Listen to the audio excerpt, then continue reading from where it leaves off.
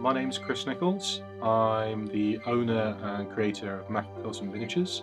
I live with my family in Tewkesbury in Gloucestershire, and what I do is I create wargame sci fi and fantasy miniatures for tabletop wargaming.